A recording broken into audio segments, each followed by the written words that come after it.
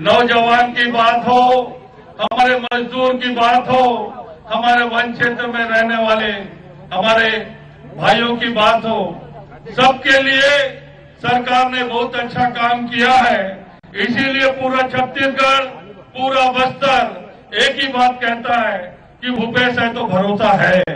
हम सभी मिलकर हमारे सरकार की नीतियों को जन जन तक पहुंचाएँगे और इस मंच के माध्यम से हम हम भूपेश बघेल जी, दीपक बैज जी और सभी नेताओं को ये विश्वास दिलाते हैं कि बस्तर के कार्यकर्ता पूरी ऊर्जा के साथ चुनाव मैदान में जाएँगे, घर घर तक आपकी योजना को पहुंचाएँगे और कांग्रेस की सरकार बनाएँगे।